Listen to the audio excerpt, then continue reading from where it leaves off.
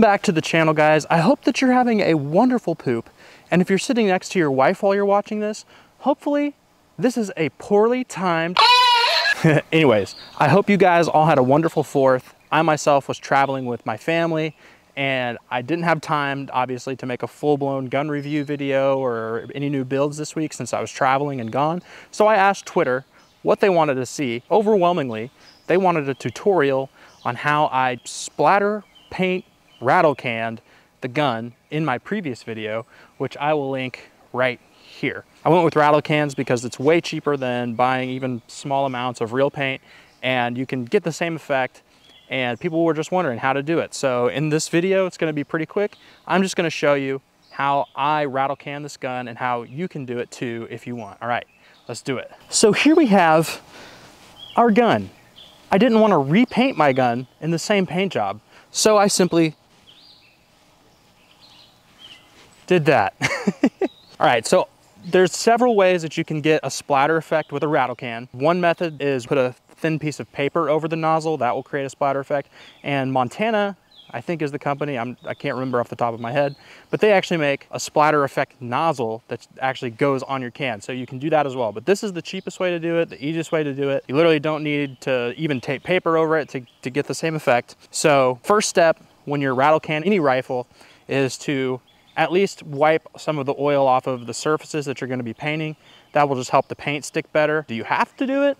Mm, not really, but it's always good practice to at least wipe the oils off the surfaces that you're going to be painting as best as you quickly can. And for this paint job, I chose yellow, orange, green, and a matte black for a base coat.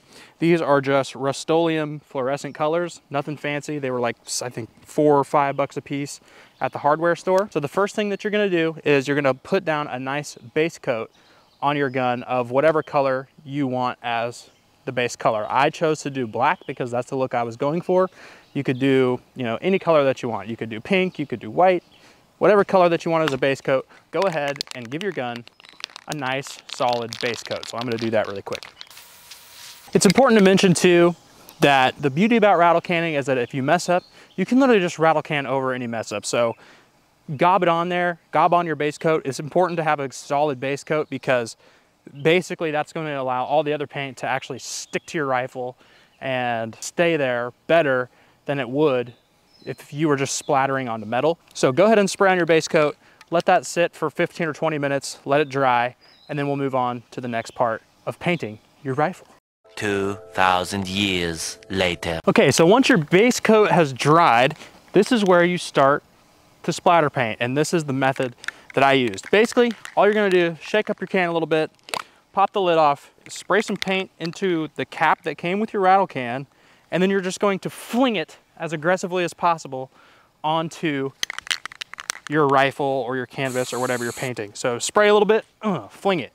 Spray a little bit, fling it spray a little bit, fling it, and repeat over and over and over again. And you can aim it, try to hit specific spots as well as you can.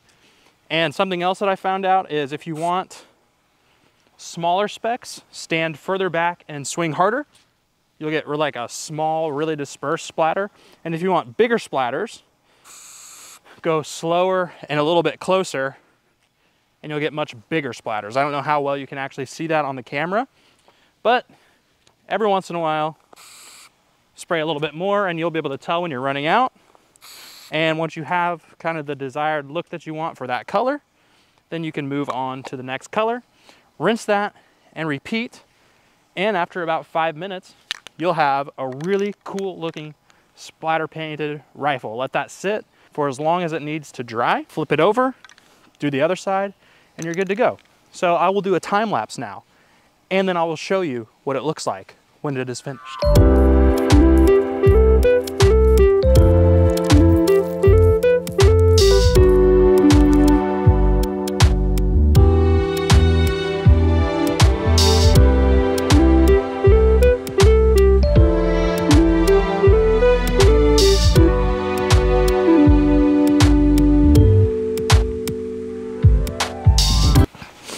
All right, so when you are done spraying in the cap and splattering onto your rifle, then you're done.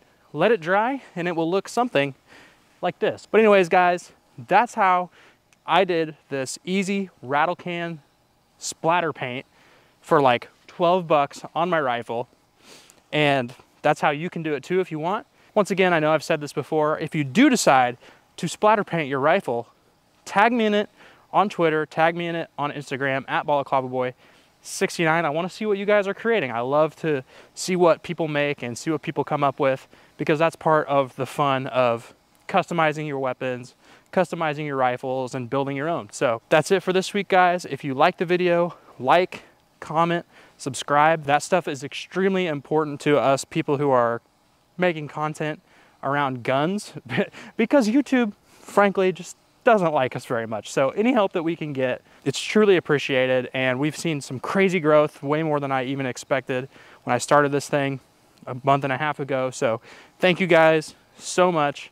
We're gonna keep chugging. We're gonna keep going. We've got some Mac builds in the works for you guys. Working on a Harlot, a Harlot Longboy that I've actually had done for a while. So lots of fun little projects coming up. If you want to keep up to date on those, follow me on Twitter, follow me on Instagram. I post updates there basically every day. And I will see you in next week's video.